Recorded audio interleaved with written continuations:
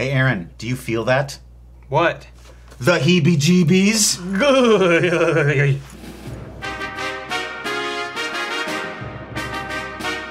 Tonight's show is sponsored by Heebie Jeebies, the people who brought you the game's Management Material General Office, Management Material Information Technology, and the game Marriage Material. One thing that doesn't scare me or gross me out a beer.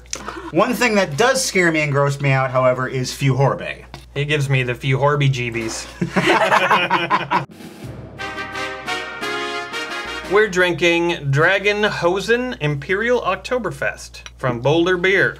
Isn't it pronounced Dagenhosen? Yes, it- Dragonhosen. It, does have the umlaut, so it's Hosen. Drink this slowly. It's nine percent alcohol. Oh!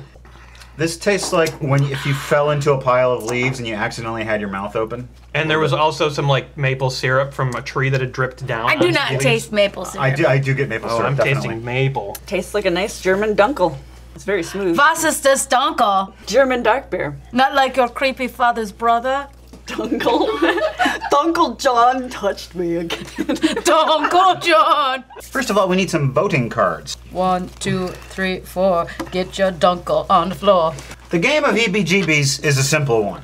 You are going to draw four cards. You're going to look at them and you're going to think about them. And then you're going to determine which one gives you the heebie jeebies the most, from most to least jeebies. Everyone else is going to determine which one they think is gives you the heebie jeebies the most, and they're going to secretly vote with their voting cards. We're going to reveal them all at once. The people who guessed correctly get points. The people who don't get shit. It's like we're measuring our GBs on the Hebe scale. Yeah. The Hebe scale was developed at MIT in the 60s, and it's still in use. Maybe we should call it the GB scale. The Hebe scale has a little bit of a connotation that perhaps we don't want. I don't know what that is. Sort of a racially loaded. Oh, I wouldn't have known that. I don't know anything about racials. We'll call it the GB scale. I got a racial the other day when I was at the spa. Hey, don't ever Google facials. I was going away on a girls' weekend. I got this nice kit. I'll give everyone a nice little facial. I'm like, mm, what goes first, cleanser or toner? I don't know. like, oh, facials. What do you got? Stitches, the thread lacing your flesh tightly together. oh, wow, they're graphic. Paintings that appear to be staring at you. Diet soda. Or monotony, the same thing over and over with no sign of excitement anywhere. What gives me the most heebies and jeebies? Okay, you ready? Yes. And go. What? Fuck off, diet soda. I hate diet soda. It makes me feel really gross. Oh, you like stitches better, do ya? Yes. Or monotony? Oh, already. That is the earliest board flip ever in this show. All right, so no one gets any points. I think we should all give either the definition of what a heebie-jeebie is. Sarah's been doing some research. Perhaps we should listen to her. Yes, Okay. the Heebie Jeebies are a Canadian a cappella band formed in 1993. Oh, No, no, no, heebie jeebie, heebie jeebie, do do do, heebie jeebie, heebie Which one of these creeps me out the most? Wearing the same underwear for two weeks straight. Fuck, that is gross. That is really. Cloned animals. Slimy mushrooms. Using someone else's fork. Covered with their fresh slobbery germs, it's going right into your mouth. Bah. One, two, three, For. two! Uh, what? Diet soda? Slimy mushrooms, they're disgusting. Really? Oh, yeah, Uh, totally. Yeah. Which of these cards will most remind you of an a cappella group? pudding. It's not solid, it's not liquid, so you just let it slide down your throat. Soiled facial tissue. Really stinky farts. Or student drivers. Uh, the dunkel. Three, three, three, three. all right. Clean Yeah, Thank you. Thank you. You did a very nice job. The three of us get points. Can she have a point? She gets nothing. But I, she should get one. No. Look at that smile, so pretty. One, two, three, four. Get your booty on the floor. Five, six, seven, eight. Your booty is the one I hate. 9, 10, 11, 12. Your booty can go to hell. 13, 14, 15, 16. I thought you thought my booty was pristine. Terrorist. A terrace? You mean like in the summer? You go out onto a nice terrace in the sun shining, like, Yes, a terrace. How do you feel about plazas? What about Es- cupolas? esplanades. Verandas. gazebo jeebies? terrorists. Oh. I don't enjoy going on those in the summer. Chick movies. Belly button lint. Fast zombies. One, two, three, four. Four. Uh, Hey, whee! belly button Dinky, lint. dinky. Brain surgery. I've heard that you can't be anesthetized when they do brain brain surgery. Yeah. You have to be For awake. certain Like you have to give responses. Is that it? Is that it? So How then about now? They, Is that it? cut about now? your, they cut your head open. Being tasered, bro. You're gonna shit yourself. Filing for bankruptcy. It's hard to shake the stigma that you failed to control your finances. Disco. None of these are really gross. However, being tasered, you are going to shit and piss yourself. Bum. Ready? Ready? Ready? Go! Disco. Yeah. I'd rather have brain surgery than listen to disco. Bullshit. Beer and Board Games The Series is sponsored by Suddenly Drunk, a set of cards that transform any turn based board game or card game into a drinking game. They pledged our highest pledge level on Patreon, and that is why they are the sponsor of the series, Beer and Board Games. You can go to Patreon right now and you can make a pledge and you can get a special re- reward. Our fourth milestone goal was also reached, and that means we get to drink special top shelf booze, and so we have this. What the hell? For all you Second Amendment fans who are also drunks, we present this. Taking the word shots quite literally. I have a feeling there's going to be a glug glug glug glug sound. Pour me a magazine of vodka, please. Wow, that Oh, sounded yeah. cool. Holy shit, that's almost gone. How's that possible? Here's to Patreon Oh, You Patreon! and all of our patrons. It tastes like vodka. I'm not sure if I should be drinking that or rubbing it on my joints. It it vaporizes in your face. It seems like most of the, the money is going into the bottle Yeah. This and is. not and not into Shake it, the shake it. bottle. Novelty vodka. I, I think what they did is they just took some Fleischmann's and put it in a gun. Like we can charge three times as much because gun. Because gun. Hey, Uncle Matt's. Did you buy this because of your friendship with me? Yeah. Yay. And you have the most pulp. being pulled into an argument. Spoiled milk. It's always too late when you take a big drink and find chunks. uh, The stench of decaying flesh. Oh. Getting a tattoo. having a bad tattoo is heebie-jeebie. I've seen some terrible, terrible tattoos. Stench of decaying flesh. If some, anything's gonna make you retch, that's gonna do it. Oh, You've smelled decaying flesh? Well, like animal flesh. What animal?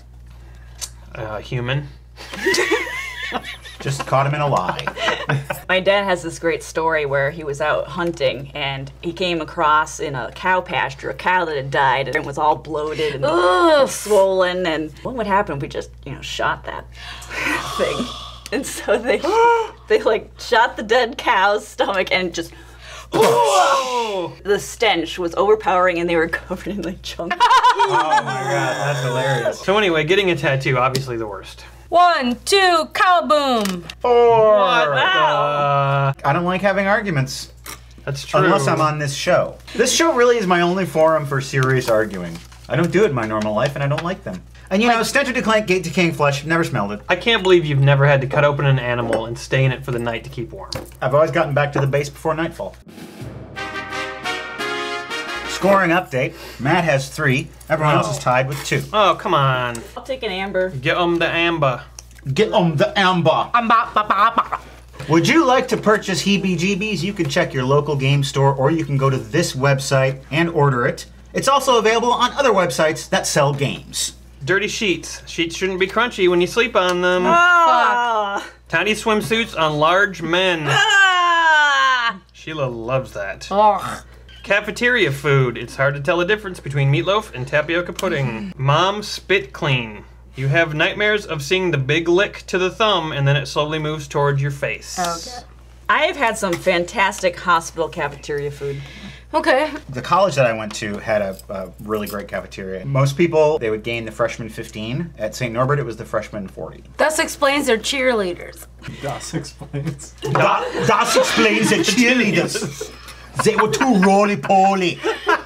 Because they eat Too much sauerbraten. Have you noticed that in like films and TV now, it's there's this trope where it's like if you get put in a hospital and you're like the hero, you like immediately bust out of the fucking hospital. you're just like, no hospital and keep me in it. I ain't you sick. always, you always rip the IV yeah, out, I'm fine. steal a coat, Yeah. and you just Yeah. like, walk and you out. sneak out and nobody ever questions you. And then they sign some chart and hand it to the uh, the nurse and say, "Get this done." You know, because they're disguising themselves as a doctor on the way out. And, Here's a work order. Get and this by done. the way, And one, two, three. Three, three. Yeah, I knew it. Matt knew it. Okay, rotten eggs. The sulfur smell hits your nostrils and bores into your sinuses. There's no escape. Eating lutefisk. It's uh, fish dried and live. The creaking sound of old houses. And lastly, running barefoot on gravel. Sharp limestone edges cut into the soles of your feet like razors. So you had to be in a certain area of the country in order to be running on limestone gravel. right. Fucking geologist over here. I know for a fact that Matt loves rotten eggs and lutefisk. Often together. Fries them up in a pan and eats them right before recording Welcome to the Basement. How do you know my pre-show ritual? All right, one, two, three. I have- Barefoot on gravel? I have very sensitive feet. I cannot walk barefoot on anything. Rotten eggs, they're stinky, yeah, but who cares? So if you're being chased by a bear when you're out camping, you're just screwed. My close second would be the creaking sound of old houses. I knew that. That's why I chose two. Feet on the gravel. Even just thinking about it, it really does give me the Really? heebie-jeebies. Limestone gravel specifically. Specifically limestone gravel. Plugging the toilet at someone else's Ah. house. Plugging it with what? Plugging it with a giant cork. This is gonna be the best practical joke ever. Let's see him try to get this out. Head lice. Oh. Thunderstorms. Fingernails on a blackboard. All right, one, two, uh, three. No! it is plugging the toilet. The score is Matt has four, Sarah and Sheila are tied at three, and Aaron has two. What? But I never lose these days. Maggots, Gross. hospitals, Gross. losing your house keys, Uh, gross. petting your cat with wet hands. I don't think losing your house keys is make gives you the heebie-jeebies Right, you're unless a ghost took it. What are you laughing? I laughing? did hear you. Ah, Tweety Twister. One, two, Come on, Sheila. Yay! Oh, I picked the wrong one. No, I meant to pick that one. I swear to God. I believe you. I You did this to me once before in a, a game, and I I accepted your. Oh, that's hot. Wow. Okay, you can have it. It's clearly that. It's clearly maggots. Matt wins. I do hate petting cats, though. Look how mad he is. Matt wins. Matt wins. Matt wins. Oh, Matt